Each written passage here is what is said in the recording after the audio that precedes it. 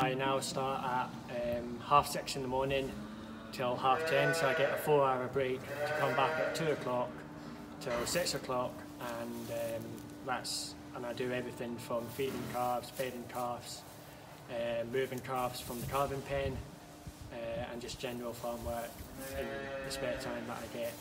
Favourite part of my job mostly is milking the cows. Um, I like doing that because I've wanted to work with cows and machinery all my life, which leads me on to operating the machinery. Um, I like doing that. There's a wee Massey Ferguson 35 tractor I operate, and then also I'm now learning the bigger equipment, and um, I get to do my telehandler test next month, which is a great opportunity for the food. So next month I will be at the Hewitt with Tarff uh, at a careers evening and I will be discussing the pre-apprenticeship programme and the experiences that I've had within it.